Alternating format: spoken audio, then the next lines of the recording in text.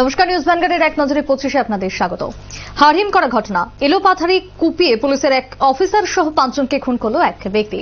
ঘাতকের নাম প্রদীপ দেব রায়। ঘটনা শুক্রবার গভীর রাতে খোয়াই থানাধীন শেওড়াতলি এলাকায়। পুলিশ ঘাতককে গ্রেপ্তার করেছে। তবে এই ঘটনায় চরম উত্তেজনা বিরাজ করছে সংশ্লিষ্ট এলাকায়।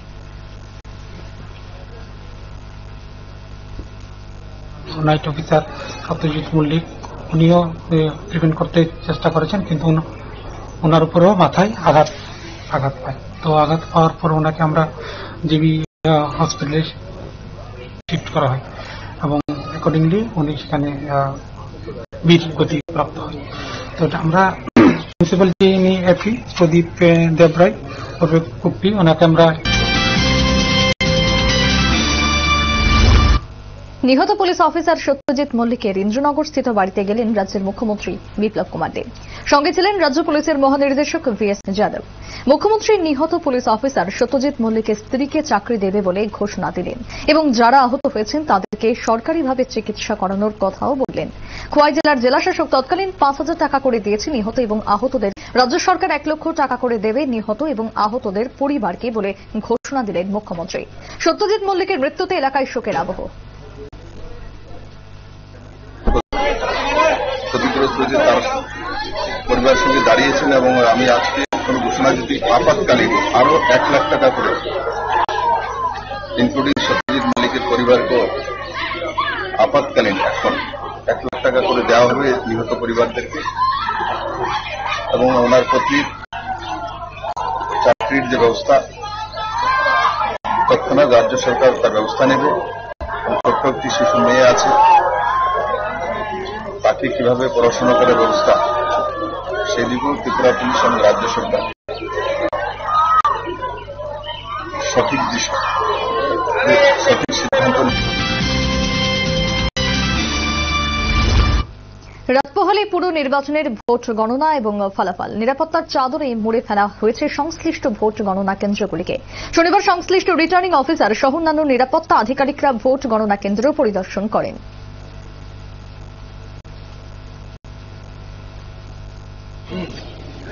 আমরা তো পৌর নিগমের যে এক থেকে একান্নটা ওয়ার্ড, তিনটা কাউন্টিং হলে আমরা ভাগ করা আছে, যেহেতু তিনজন আরও আছেন এক থেকে সতেরো একজন আরও, এবং একটা কাউন্টিং হল। আঠারো থেকে চৌত্রিশ সেপারেট আরও কাউন্টিং হল, আরেকটা কাউন্টিং হল, এবং পঁয়ত্রিশ থেকে একান্ন আরেকটা কাউন্টিং এই তিনটা কাউন্টিং হল থাকবেন তিনজন আরও থাকবেন এখানে প্রত্যেকটা কাউন্টিং হলে এভারেজ আমরা দশটা করে টেবিল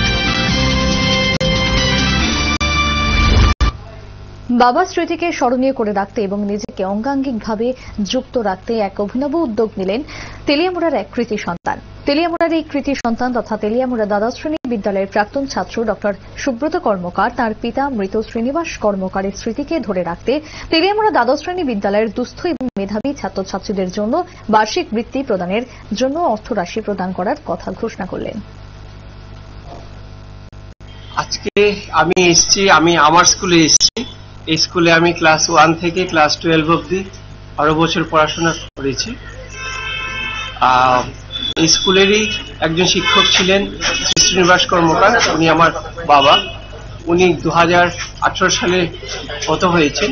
তো আজকে এই স্কুলে আমার উদ্দেশ্যটা, আসার উদ্দেশ্য হচ্ছে বাবার নামে একটা স্মৃতি পুরস্কার, শ্রীনিবাস কর্মকার স্মৃতি পুরস্কার, একটা ট্রাস্ট তৈরি করা।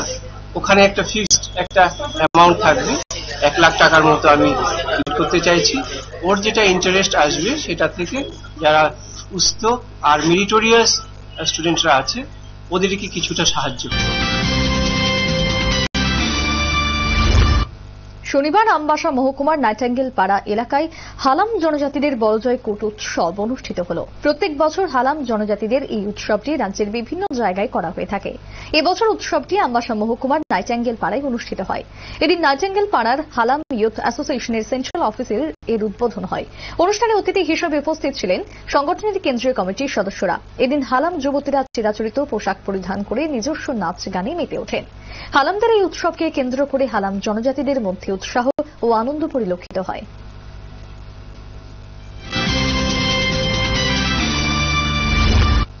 সাবরুম আগরতলা জাতীয় সড়কে দ্রুতগামী বাইক দুর্ঘটনায় গুরুতরভাবে আহত দুজন। ঘটনা শনিবার বিকেলে সাড়ে তিনটে নাগাদ রাধাকিশোরপুর থানাধীন বাগমাস্থিত বারভাইয়া গ্রাম পঞ্চায়েতের পাশে জাতীয় সড়কে।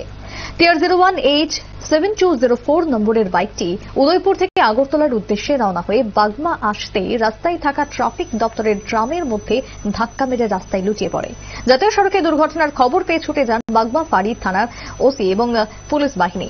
বাগমা ফাঁড়ির ওসি খোকন সাহা সাথে সাথে দুর্ঘটনাগ্রস্ত কৃপাশীল, বাড়ি আগরতলা, অভয়নগর এবং সুকান্ত দত্ত, বাড়ি লক্ষণ ডেপা দুজনকে নিজের গাড়িতে উঠিয়ে গোমতী জেলা হাসপাতালে পৌঁছে দেন। বর্তমানে জেলা হাসপাতালে চিকিৎসাধীন দুজনেই।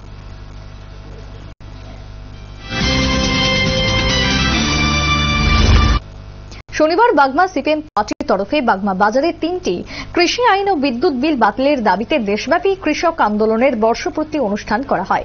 কিষাণ মোর্চা বাগমা অঞ্চলের তরফে উপস্থিত ছিলেন কৃষক নেতা পবিত্র কর, নিতাই বিশ্বাস, নিখিল দাস প্রমুখরা। কৃষকদের এই জয় নিয়ে অভিমত ব্যক্ত করলেন বাম নেতা পবিত্র কর।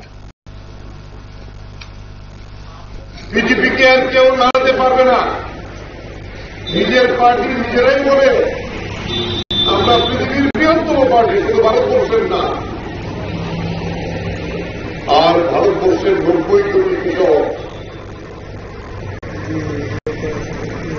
ভারতবর্ষের জনসংখ্যার চার ভাগের তিন ভাগ হল কৃষক। কৃষকের ঘরের ছেলে সেনাবাহিনীর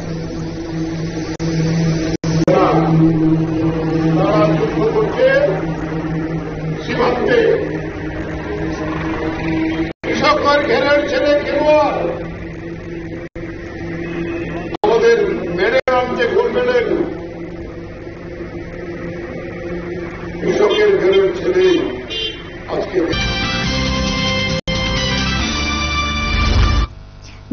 আফ্রিকায় পাওয়া করোনা ভাইরাসের নতুন রূপ ওমিক্রন নিয়ে উদ্বেগ ছড়িয়েছে ইউরোপ এবং আমেরিকায়। উদ্বিগ্ন ভারত শনিবার বিষয়টি নিয়ে স্বাস্থ্য বিশেষজ্ঞ এবং সরকারি আধিকারিকদের সঙ্গে বৈঠক করলেন প্রধানমন্ত্রী নরেন্দ্র মোদী। স্বাস্থ্য আধিকারিকদের আরও বিশদভাবে খোঁজ খবর নিয়ে আরও সক্রিয় হওয়ার পরামর্শ দিলেন প্রধানমন্ত্রী।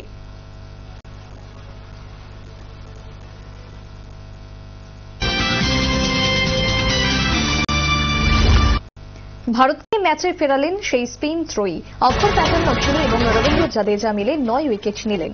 এর ফলে কানপুরের তৃতীয় দিন দুশো ছিয়ানব্বই রান শেষ হয়ে গেল কিউইদের প্রথম ইনিংসে। প্রথম ইনিংসে উনপঞ্চাশ রানের লিড ভারতের। তবে দিনের শেষে চোদ্দ রানে শুভমান গিলকে হারিয়ে ফের কিছুটা চাপে ভারত।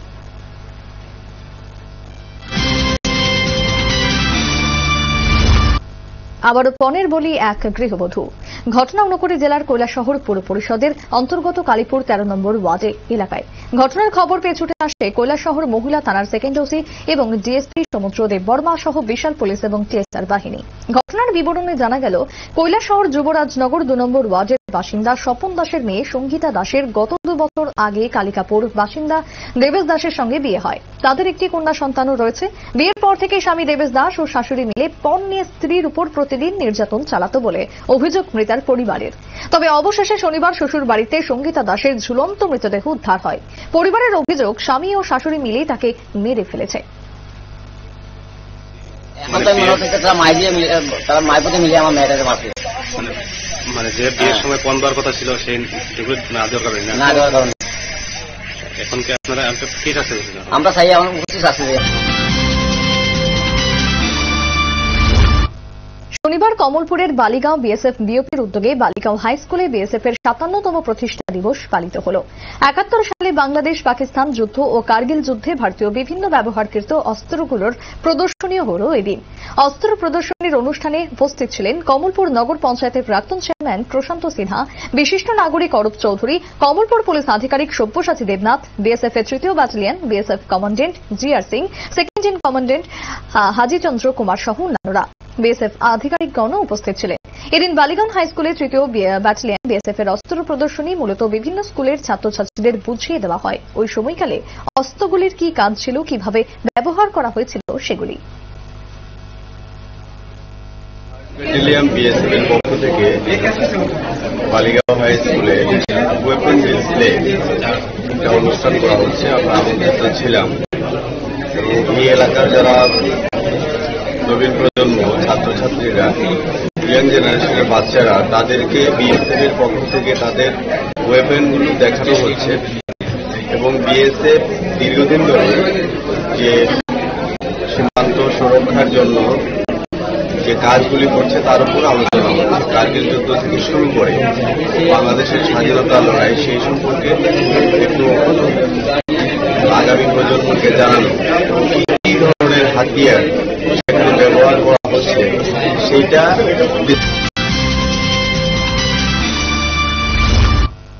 পণের জন্য গৃহবধূর উপর অকথ্য অত্যাচার করে স্ত্রী এবং নিজের কন্যাকে বাপের বাড়ির হাতেই তুলে দিল পাষণ্ড স্বামী। ঘটনার বিবরণে জানা গেল দু হাজার সতেরো সালে বেতাগা এডিসি ভিলেজের পুরান ভিটা এলাকায় জয়কুমার ত্রিপুরার নাবালিকা মেয়ে কল্পনা মালা ত্রিপুরা হারবাতলি এডিসি ভিলেজের পাগলি ছড়ার রতন ত্রিপুরার সাথে প্রেমে আবদ্ধ হয়ে পালিয়ে বিয়ে করে। বিয়ের এক বছর যেতে না যেতেই পণ্যের জন্য শুরু হয় স্ত্রী কল্পনার উপর অত্যাচার। এর মধ্যে তাদের একটি ফুটফুটে কন্যা সন্তানেরও জন্ম হয়। ধাপে ধাপে রতন ত্রিপুরার পণের চাহিদা মেটাতে গিয়ে হতদরিদ্র কল্পনার বাবা জয়কুমার ত্রিপুরা টাকা ও দুশোটি রাবার গাছের বাগান করে দেন। এতেও তার হল না। অবশেষে কোনো উপায় না দেখে কল্পনার বাবা জয়কুমার ত্রিপুরা তার মেয়েকে সঙ্গে নিয়ে সাবরুম থানায় লিখিত অভিযোগ দায়ের করল রতন ত্রিপুরার বিরুদ্ধে। আজকে কই আছেন এ, আমরা মায়া আছি বউ আছি কই আছেন আজকে ওখানে? কি কারণে থানা পাইছেন? আমরা মায়ের আমরা মায়ের মারি পিটি তারপরে জামাই মদ টর খায় মারি পিটি বিয়ে মদ খায় অত্যাচার করে। কবার গ্রামে সংশোধন করে দিয়ে দিছে। গ্রামে সংশোধন করে দেওয়ার পরে প্রধান নিয়মল সংশোধন করে দেওয়ার পরে আবার অত্যাচার করে। এবারে অত্যাচার করে আমরা থাম সারা রাজ্যের সাথে তেলিয়ামুড়াতেও পৌর পরিষদের নির্বাচনের ভোট গণনা শুরু হবে আগামীকাল রবিবার সকাল আটটা থেকে। তেলিয়ামুড়া মহকুমা শাসক কার্যালয়ে। শান্তিপূর্ণভাবে ভোট গণনার জন্য তেলিয়ামুড়া মহকুমা শাসকের কার্যালয়ে শনিবার সবকটি রাজনৈতিক দলের প্রতিনিধিদের নিয়ে একটি বৈঠক করেন তেলিয়ামুড়া মহকুমা শাসক রিটার্নিং অফিসার মোহাম্মদ সাজ্জাদ এদিকে রিটার্নিং অফিসার জানিয়েছেন, রবিবার সকাল আটটা থেকে শুরু হবে ভোট গণনা। সাতটি টেবিলে হবে গণনা। এই গণনার প্রক্রিয়া চার রাউন্ড হবে। কঠোর নিরাপত্তা বলের মধ্য দিয়ে চলবে রবিবার ভোট গণনার কাজ। এদিন সবকটি রাজনৈতিক দলের প্রতিনিধিদের নিয়ে বৈঠকে ভোট গণনার পর সর্বত্র যাতে শান্তি শৃঙ্খলা বজায় থাকে, তার জন্য সবকটি রাজনৈতিক দলের প্রতি আহ্বান জানান রিটার্নিং অফিসার তথা মহকুমা শাসক Mohammad Sajjad P Tilmara municipal council election का काउंटिंग कल है। कल काउंटिंग इधर काउंटिंग सेंटर आर का ऑफ़िस है सब डिविजन मजिस्ट्रेट तिलमरा ऑफ़िस में आठ बजे से सुबह शुरू होगा। सात टेबल होगा काउंटिंग के लिए और एक आरओ टेबल होगा। तो उसके हिसाब से चार राउंड चलेगा काउंटिंग प्रोसेस और हमारा रिक्वेस्ट है सारे तिलमरा का जनरल पब्लिक और कैंडिडेट्स को कि ये प्रोसेस पीसफुली करना है। इसके लिए हम सबको रिक्वेस्ट कर ত্রিপুরা রাজ্যে প্রতিনিয়ত সাংবাদিকরা আক্রান্ত হচ্ছেন। এই ঘটনাকে সামনে রেখে আজকে সোনামুড়াতে সাংবাদিকদের পাশে দাঁড়িয়ে দোষীদের গ্রেপ্তারের দাবিতে নাগরিক অধিকার মঞ্চ এক সাংবাদিক সম্মেলন করল। সাংবাদিক সম্মেলনে উপস্থিত ছিলেন নাগরিক মঞ্চের সভাপতি অ্যাডভোকেট জলিলুর রহমান, সম্পাদক doctor Jahirul Haque legal adviser advocate Jasimuddin সদস্য আবুল খায়ের প্রমুখরা। সংগঠনের তরফ থেকে রাজ্যের মুখ্যমন্ত্রীর নিকট দাবি তোলা হল, বিগত দিনে যারা সংবাদ কর্মীদের উপর এবং সংবাদ ভবনের উপর আক্রমণ এনেছে, তাদেরকে দৃষ্টান্তমূলক শাস্তির ব্যবস্থা করার এবং সংবাদ মাধ্যমে স্বাধীনতা সুনিশ্চিত করার জন্য ব্যবস্থা করার।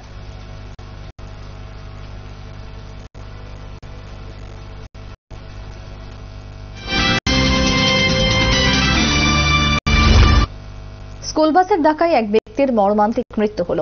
ঘটনা শনিবার দুপুরে বরজলা এলাকার বাসিন্দা বেনুদের বর্মা পেশায় গ্যারেজ কর্মী।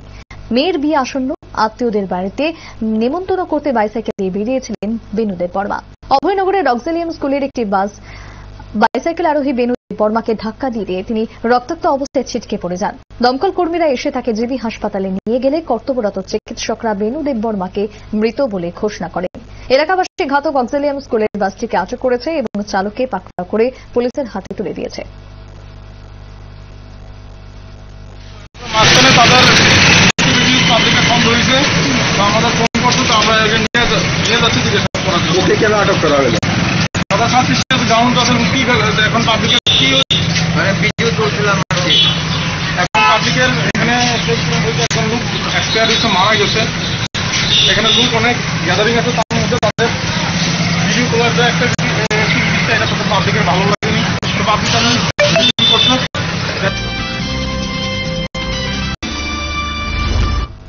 রাজ্য সরকারের আইন দপ্তর এবং স্টেট লিগাল সার্ভিস অথরিটির উদ্যোগে মহাকরণে আজকে আইন দপ্তরের কার্যালয়ে দুদিনব্যাপী সরকারি কর্মচারীদের মামলা নিষ্পত্তি করার লক্ষ্যে লোক আদালতের আয়োজন করা হয়েছে। দুদিনের মোট একশো তিরানব্বইটি মামলা নিষ্পত্তি করা হবে বলে জানা গেছে। শনিবারই লোক আদালতের যাত্রা শুরু হল। উদ্বোধনী অনুষ্ঠানে এদিন উপস্থিত ছিলেন রাজ্যের আইনমন্ত্রী রতনলাল নাথ এবং আইন সচিব বিশ্বজিৎ পালিত সহ অন্যান্যরা। বিচারকদের দায়িত্বে রয়েছেন অবসরপ্রাপ্ত জেলা বিচারক সুভাষ শিকদার। রাজ্য সরকারের বিভিন্ন দপ্তরে যেসব কর্মচারী রয়েছে, সরকারি কর্মচারী, তাদের বিভিন্ন রকম ডিসপুট রয়েছে। যেমন pay fixation promotion matter departmental proceedings এই ধরনের মামলার বহু বিষয় রয়েছে। মামলা হয়নি এবং ওনারা আদালতেও যায়নি। তাহলে এদের জন্য স্পিডি একটা ডিসপোজাল হওয়ার জন্য আমরা, আমাদের রাজ্যে এই প্রথম এই ধরনের লোক আদালত হচ্ছে এবং ভারতবর্ষে কোথাও হয়েছে কিনা আমার জানা নেই। এবং এটা যারা উদ্যোগ নিয়েছেন, তাদেরকে অবশ্যই পূর্বদা সামাজিক সংস্থার বার্ষিক সাধারণ সভা আজকে অনুষ্ঠিত হল রাজ্যের ভগৎ সিং ইউথ হোস্টেলে শনিবার। উপস্থিত ছিলেন শিক্ষামন্ত্রী রতনলাল নাথ, তথ্য সংস্কৃতি দপ্তরের মন্ত্রী সুশান্ত চৌধুরী পূর্বদা সামাজিক সংস্থা সেক্রেটারি নীতি দেব সহ অন্যান্যরা। এই বৈঠকে পূর্বদার আগামী দিনের পরিকল্পনা, প্রত্যেককে নিজেদের অভিমত ব্যক্ত করেন পরিকল্পনা নিয়ে।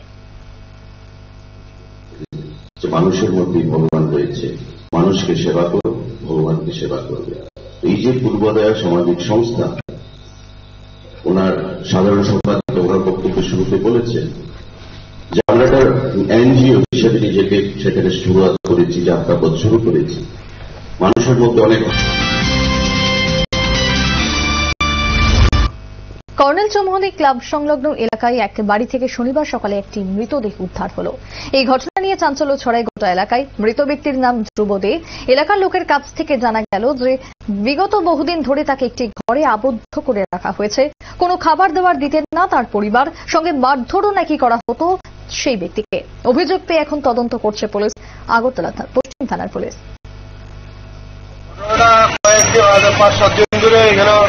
না খেয়ে পরে উঠতে, আমি ক্লাবের থেকে যাব তো, খবর পেলাম, খবর গেলাম, ক্লাবের থেকে জল, খাবার টাবার সব কিছু ব্যবস্থা করে দিতে আসি ওর ছেলে রাহুল, এবং স্ত্রী ধন্যা কারেন্টের লাইন দেয় টুকু মোটর টেনে ক্লাবের থেকে মোটর টেনে কিনে থাকতে হয়েছে, এবং টিফিন টিফিন, ভাত টাত খাওয়ার সব ব্যবস্থা করছি। সকালবেলা খবর পেলাম, এদের মারা গেছে এরকম। এই ডাক্তার আনলাম দেখাইলাম, তখন এখন টিভিতে পাঠাইছি এখন এলাকাবাসী ভাবছে তখন কোথাতে মারা হয়েছে। ওদেরকে খাওয়ান টাউন দিত না। খাওয়ান তখন দিত না তারা তো অত্যাচার করতো এই জন্য এখন পোস্টমর্টমের লেখা জীবিতে পাঠাচ্ছি। বিজয়ীদের নাম আগেই ঘোষণা হয়ে গেছিল। শনিবার স্বর্ণকমল জুয়েলার্সের পক্ষ থেকে সেই সমস্ত বিজয়ীদের মধ্যে উনত্রিশ জনকে দেওয়া হল পুরস্কার। শারদ সম্মান উপলক্ষে এই আয়োজন করেছিল স্বর্ণকমল জুয়েলার্স। অবশেষে এদিন বিজয়ীদের হাতে পুরস্কার তুলে দেওয়া হল আয়োজকদের তরফে। পুরস্কার পেয়ে বিজয়ীরাও খুবই খুশি হলেন। আয়োজিত সারদার বোধ এবং সরকারাঞ্চল সমৃদ্ধি আমাদের শোরুমে হয়েছিল সেক্রেটারি প্রাইজ ইয়ে হয়েছে আগে খেলাটা হয়েছিল আগে পত্রিকাতে দেওয়া হয়েছে। এবং আগে সেটা প্রাইজ দিতে হয়েছে প্রধান সবাই আমরা গ্রহণ করেছি। আপনাদের সবাইকে ধন্যবাদ। কতজনকে দেওয়া হয় এখানে পেয়েছে গোল্ড কয়েন পেয়েছে একুশ জন। নেকার রথের দ্বিতীয় নেকলেস পেয়েছে। আর ডায়মন্ডের পাঁচটা আংটি পেয়েছে। মোট উনত্রিশটা হয়েছে।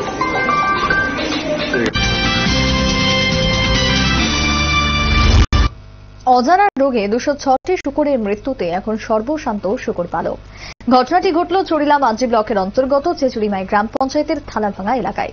শুকুর পালকের নাম বিক্রম দাস, পিতার নাম পরেশ দাস। শুরু থেকে শুকুর ব্যবসা করে আসছেন পরেশ দাস। বিক্রম দাস ছোটবেলা থেকেই দেখে আসছেন তার পিতা শুকুর প্রতিপালন করছে।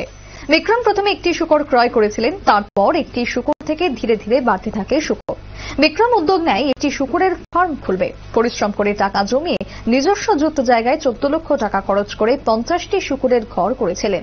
তিনি তিন বছর হয়ে গেছে ফার্ম তৈরি করেছেন। সেই ফার্মগুলিতে দুশো ছটি শুকরকে লালন পালন করে বড় করে তুলেছেন। প্রতিটি শুকরের দাম ছিল প্রায় পঞ্চাশ থেকে ষাট হাজার টাকা করে। এই কয়েকদিনের মধ্যে দেখতে দেখতে সবগুলি শুকর মারা গেল। মাথায় হাত তার। চোর তো এই মুহূর্তে চোর রুগে। রুগাইছে চোর আমার দুশো ছটা চোর আছে। দুশো ছয়টা? দুশো ছটা চোর আছে। দুশো ছটা থেকে মৃত্যু মধ্যে সবই মারা গেছে। নতুন করে আমার এক বন্ধু চোর আমার এখন আমার বন্ধু কয়েকটা আমার নিজের চোর আছে মেলা এই লাইন পড়া আমার তো কয়েক কয়েকদিন থেকে করে আমার রাত খালি শোনার মতন কোনো রাত্রি নেই। কয়টা শুয়োর মরছে আপনি আমার গেছে একটা শুরু দুইশো পাঁচটা শুয়োর মারা গেছে? দুইশো পাঁচটা শুরু মারা গেছে। কত হইব এটির দাম আনুমানিক? অনুমানিক ষাট থেকে পাঁচষট্টি লাখ টাকা। শুয়োর এক একটা শুয়োরের দাম আমার কাছে পঞ্চাশ সাত সকালে নিয়ন্ত্রণ হারিয়ে দুর্ঘটনার কবলে এক লরি। আহত দুজন। ঘটনা বিশালগড় বাইপাসের লকডাউন বাজার সংলগ্ন এলাকায়। ঘটনার বিবরণে জানা গেল, শনিবার সাত সকালে আগরতলা থেকে বিলোনিয়ায় মাল নিয়ে যাওয়ার সময় S zero one F five seven three nine লরিটি Bishalgarh lockdown বাজার এলাকায় আসতেই দুর্ঘটনাগ্রস্ত হয়ে পড়ে। প্রত্যক্ষদর্শীদের অভিমত, মাত্রাতিরিক্ত গতিতে ছিল লরিটি, তাছাড়া লরির চালক কৃষ্ণধন ভৌমিকও মদমত্ত অবস্থায় ছিল, যার দরুন রাস্তার ডান দিকে গিয়ে নিয়ন্ত্রণ হারিয়ে দুর্ঘটনাগ্রস্ত হয়ে পড়ে গাড়িটি। এতে আহত হয় গাড়ির ভেতরে থাকা গাড়ির চালক কৃষ্ণধন ভৌমিক এবং তার জামাতা পরিমল ভান্ডারী। প্রত্যক্ষদর্শীরা খবর দেয় বিশালগড় অগ্নি নির্বাপক দপ্তরে ঘটনাস্থলে পৌঁছে অগ্নি নির্বাপক দপ্তরের কর্মীরা পরিমল ভান্ডারীকে উদ্ধার করে বিশালগড় মহকুমা হাসপাতালে নিয়ে যায়। গাড়িটা উদিপুরের দিকে যাচ্ছিল। হঠাৎ আউটলাইনে কি গাড়ি এটা বিস্কুট বেকারি বা দাম দোকানের মাল। মুদি দোকানের মাল। কেউ কি আহত হয়েছে? আহত একজন দুজন হয়েছে। একজন অবস্থা গুরুতর আর একজন একটু চ্যালেঞ্জার ট্রফিতে ভারতীয় মহিলা দলে খেলার সুযোগ পেলেন রাজ্যের মেয়ে রিজু দাস। শনিবার রিজু সাহা। শনিবার এই মেসেজ আসে বিসিসিআইয়ের তরফে টিসিএতে ব্যাটসম্যান হিসেবে রিজুকে ডাকা হয়েছে ভারতীয় মহিলা দলে। সোমবার সে রওনা হয়ে যাবে ভারতীয় মহিলা দলের সঙ্গে যোগ দিতে। টিসিএর তরফে যুগ্ম সচিব কিশোর দাস শনিবার এমবিবি স্টেডিয়ামে অনুশীলনরত রিজু সাহাকে অভিনন্দন জানালেন।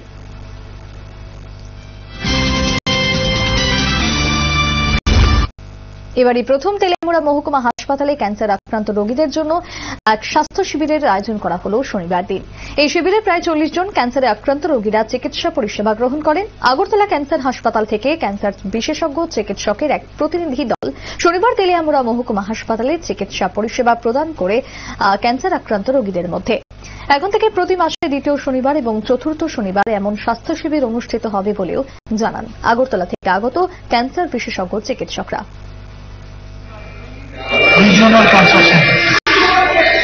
হাসপাতাল থেকে থ্রু আউট দি স্টেট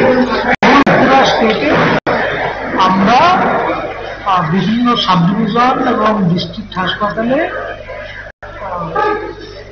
মাসে দুটো Saturday actually second and fourth Saturday sub division এবং ডিস্ট্রিক্টে বিভিন্ন একটা একটা একটা একটা করে আমরা এরকম আর্লি ডিটেকশন ক্যাম্প করি। এইসব জায়গায় সাধারণত যেসব পেশেন্টরা এখান থেকে নানা কারণে হাসপাতাল পর্যন্ত যাচ্ছেন তারা এখানে আমরা নিজেরা এসেছি যাতে তারা কাছে এসে আমাদের কাছে তাদের কষ্টের কথাটা বলতে সিমলা বিধানসভার হেজামারা আড্ডি ব্লকের অধীন তুই সামগ্রী এডিসি ভিলেজ, এই ভিলেজের অন্তর্গত গঞ্জকামিপাড়া পাড়াটিতে পঁয়ত্রিশটি পরিবারের বসবাস রয়েছে। পাড়ায় ঢোকার সম্মুখ ভাগেই রয়েছে একটি ব্রিজ বর্তমানে ব্রিজের দুপাশের অ্যাপ্রোচ ভেঙে গিয়ে মূল ব্রিজটি দাঁড়িয়ে রয়েছে। আর দুপাশের অ্যাপ্রোচের একদিকে বাঁশের বেড়া এবং অপর দিকে বিদ্যুতের খুঁটি, ফলে গ্রামবাসীরা পারাপার হচ্ছে প্রতিনিয়ত। জীবনের ঝুঁকি নিয়ে চলতে হচ্ছে ব্রিজ দিয়ে দু তিন বছর ধরেই এই বিপজ্জনক অবস্থায় রয়েছে তথাকথিত ব্রিজটি। গজগামী পাড়ার ছাত্রছাত্রী সহ রোগী পরিজনদের ভীষণ অসুবিধার সম্মুখীন হতে হচ্ছে। স্কুল কলেজ যেতে হাসপাতালে রোগীদেরকে যেতেও কিন্তু সমস্যা হচ্ছে। কারণ বাঁশের নড়বড়ে সাঁকো পেরিয়ে মূল ব্রিজটিতে উঠতে হয়, তারপর মূল ব্রিজ থেকে দুটো পাতানো ইলেকট্রনিক পোস্টের উপর দিয়ে জনসাধারণকে পারাপার হতে হয়, রাস্তায় উঠতে হয়। সারায়ের নিয়ে কোনো উদ্যোগ, অভিযোগ গ্রামবাসীর।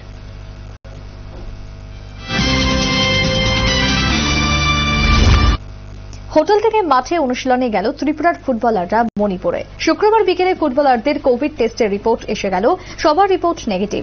এবছর মণিপুরে অনুষ্ঠিত হচ্ছে পূর্বোত্তর সন্ত্রাস ট্রফি ফুটবল প্রতিযোগিতা। আসরে কঠিন গ্রুপে রয়েছে ত্রিপুরা, রাজ্য দলের গ্রুপে রয়েছে স্বাগতিক মণিপুর সহ মিজোরাম এবং নাগাল্যান্ড। আঠাশ নভেম্বর মিজোরাম, তিরিশ নভেম্বর মণিপুর এবং দোসরা ডিসেম্বর ত্রিপুরা গ্রুপের ম্যাচ খেলবে নাগাল্যান্ডের বিরুদ্ধে। আসরে অংশ নিতেই বুধবার রাতে রনেশ দেব বর্মা নেতৃত্বে ত্রিপুরা দল মণিপুরে যায়। মণিপুর থেকে টেলিফোনে ত্রিপুরা দলের ম্যানেজার কৌশিক রায় বলেন, কোভিড টেস্টের রিপোর্ট এসে গেছে, তাদের হোটেল থেকে বের হয়ে শনিবার মাঠে অনুশীলন করল রনেশরা এদিকে দলের সঙ্গে যোগ দিলেন কোচ ডিকে প্রধান। তার কাছে একটি এফ এর তরফে ফুটবলারদের জন্য ট্র্যাকস্যুট পাঠিয়ে দেওয়া হয়েছে।